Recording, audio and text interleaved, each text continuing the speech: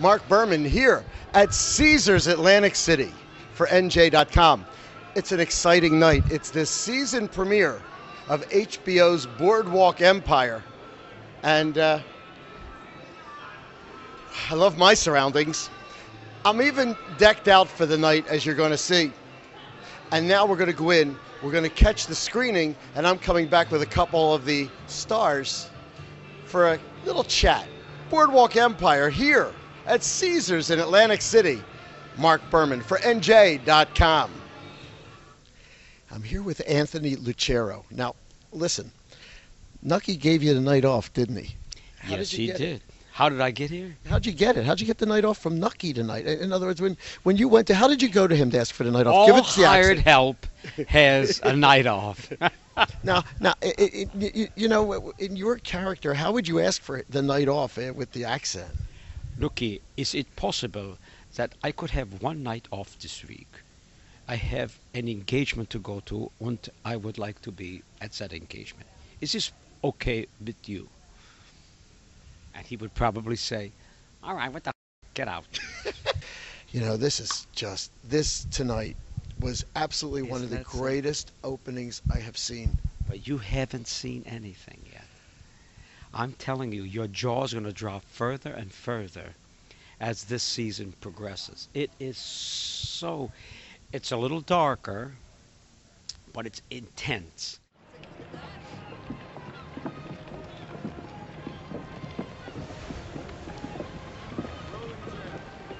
Who was that?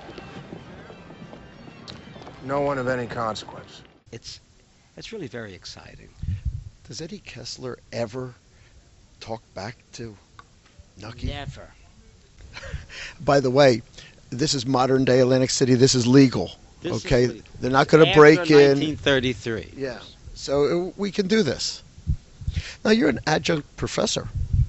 Yeah, at New Jersey City University in Jersey City and I direct the opera there, and I teach uh, voice privately.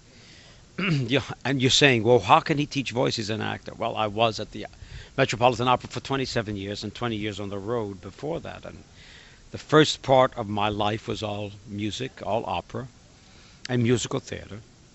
And then at age 57, I decided it was time to retire. And then this happened. I get a call and come audition for this role. And I got hired.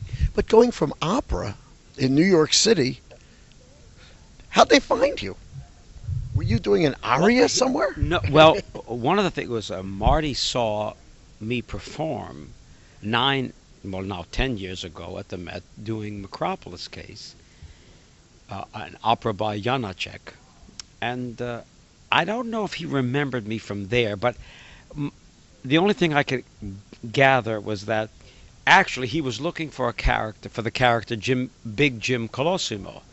So when they call, I guess he must have said called opera singers because yeah, the larger, the bigger opera singers are bigger than life, and uh, uh, when they called my former manager, he explained what I looked like, and they said, "Well, he's not really big Jim Colosimo. I'm only five seven. So um, uh, but they said, "We, you know, we're looking. We haven't been able to cast another role of Eddie Kessler. Now he would be a recurring. He would be, he would be a regular on the show. Well, that's better than dying after the. No, that's great. After the pilot, so uh, I read, and they said, "Does he have a German accent?" And my manager said, "He has any accent you would like." And so, uh, so I went and read, and uh, they liked me, and uh, Marty liked me. And, I became Eddie Kessler. And we love the outcome because you are fabulous oh, as Eddie Kessler. You, you are just amazing. Well, it's an interesting thing because my entire career in opera, I've always done second banana, supporting roles. In opera, it's called uh, comprimario. And uh, I've always done this, but and now I don't have to sing. I can drink. I can smoke my cigars. I don't. I don't have to vocalize. It's really wonderful life but, all of a sudden. But you know, it's but and for you, you got this. You got this regular full time gig. You're on the series and everything, yeah. and you're you're playing his assistant. But for us watching, oh, it's so frustrating because we sit there. And we say, "Look, will you please do me a favor? Just just just smack him. We can you would you please tell him to shut up? Oh, No. Eddie But is in- so great. You realize in true life, uh, Lou Kessel, who is the character that Eddie Kessler is based on, uh, did was a cab driver, was a bartender in Austria. He was a wrestler. Oh. He did whatever he had to do to make a living, and when he came to the United States and directly to Atlantic City, oddly enough, he worked in the uh, the uh, was it, not the push cart, but the, the rolling chair. Rolling chairs on the boardwalk. Right. He worked in that factory.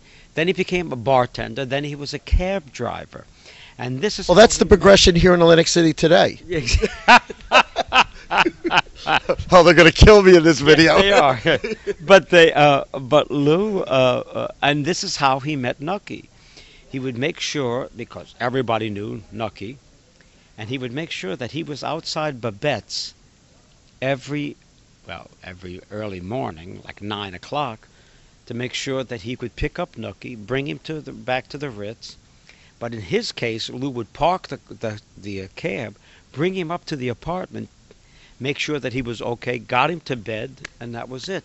After a period of time, Nucky said, "Why don't you work for me and be my personal assistant?" And that's how he got the job. Therefore, Nucky could do whatever it beat the hell out of it. It made no difference. This man is what gave Lou Kessel, aka Eddie Kessler, his livelihood. So you're loyal. fortune. You're loyal. There's nothing more expressive than the act that he is absolutely loyal. More loyal than Jimmy. We're not going to talk about that. We're going to see I what mean, comes it's up. Just the fact, but uh, uh, Nucky wrote in his writings that uh, the biggest disappointment in his life was when he was in jail and they would not release him to go to Lou's funeral. And he was so upset about that. He said because Lou, Eddie, was the finest man he ever knew in his life and trusted him with, well, come on, obviously trusted him with everything. Trusted him with his life. And uh, that shows this bond of this foreigner, Mhm. especially after World War One, Yeah. You know, with the Germans and so forth, that he just befriended him and uh, placed his whole life in Lou's hands. And I, I think it's it, it's very interesting. And you know, you- you're also a Jersey boy. Yes, in Teaneck, New Jersey. Yeah, Teaneck. Now wait a minute. That's where they. That's North Jersey. No, that's also where they had the clean teeth. Remember that? Gro- Wasn't that the toothpaste commercial? It was Teaneck. See, That was Teaneck. That's right. Oh my God, I forgot that. yeah, they, you know, I'm from I'm from Philadelphia originally, but uh, living here in, in New Jersey, uh, and uh, boy, w- Teaneck to me is just clean teeth. Clean teeth. Well, what else? Well, we all have clean teeth. I have a great dentist. Which shore did you go to during the summer? Well, come here. You come to Atlantic City? And now, especially to Brigantine, because that's where Lou's family lives. And uh, we became very good friends with Jamie Kessel Satz, and now with her brothers, Danny and Larry, and her sister, Barry. And I'll tell you why, not that you mentioned Philadelphia. Uh, they met my brother, because my brother visited us during the 4th of July. And uh, Danny Kessel, Jamie's brother, called their sister Barry, who has a restaurant in Lafayette, Mhm. Pennsylvania, 12 miles outside of Philly. Called- Lafayette Hills. That's right. That's exact. Yeah, and uh, the Lucky Dog is the Uh-huh. name. Yeah, and uh, uh, called them and told his sister, "I found the man that can help run your restaurant." It's my brother. Really? It's don't you think this is phenomenal? Now, because of the connection doing Boardwalk Empire, Yeah. coming to Atlantic City, meeting the Kessel family, becoming part of their family. Now, my brother is also connected and will be living in Lafayette Hills, running a restaurant called the Lucky Dog. Now, the, the interesting thing about the Lucky Dog is in New Orleans, where my brother, we're all oh. from New Orleans. Oh, originally from Yes, New originally From New Orleans. From NOLA. Nice. Yes. This what we call soubrettes here. There was this push cart, hot dog thing called Lucky Dog. Really? Lucky Dog. It's unbelievable. Excuse me. Can we get some beignets in here? Yes, Can we we need beignet right now and some Café du Monde. Ca- yes, that's what we need. Cafe au lait. This is amazing. So wait a minute. So you're you from New Orleans. You wait. You're living in New Jersey. You got connections in Philadelphia, but the No. character you play is like Austrian. in the character is Austrian. But the parents from Russia, they moved from Russia. The Russian Jews moved from Russia to Austria. Lou Kessel's born in Austria, and then moves to America, but comes to Atlantic City. We're going to call this the Smorgasbord interview. This is the it It's a little bit of everything, It's- isn't it? It's, er- but the connection is so unbelievable.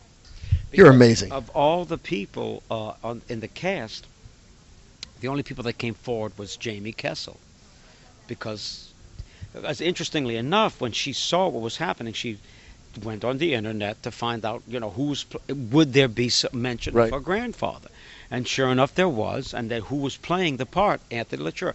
So she calls Terry Winter, and says, you know, I'm Jamie Kessel, Sats, and my grandfather was Eddie Kessler's uh, was Eddie Kessler, actually Lou Kessel. So when Terry came to me on the set, I said, before he could finish the sentence, That's Terrence Winter. Terrence Winter, when can I? I said, when can I meet this lady? Give me information because this this is an actor's dream to find connection to real life Absolutely.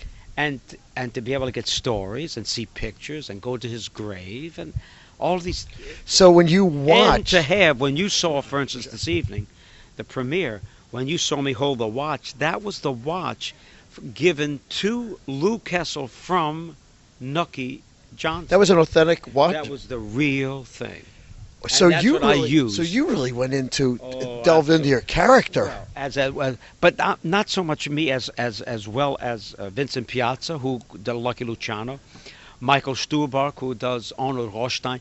The if you spoke to these guys, it would be like talking to Lucky Luciano and Arthur Ro- uh, uh, Arnold Rothstein.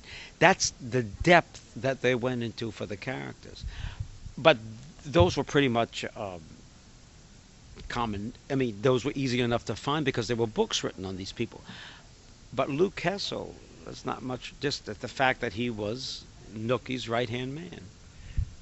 It's, it's, This is Boardwalk Empire, HBO, season two.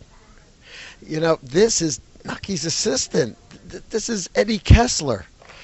You are amazing. I love talking to you, man. thank you so much. It's my pleasure. It's my pleasure. And thank you. Keep watching. Marc Berman here, Caesars Atlantic City for NJ.com.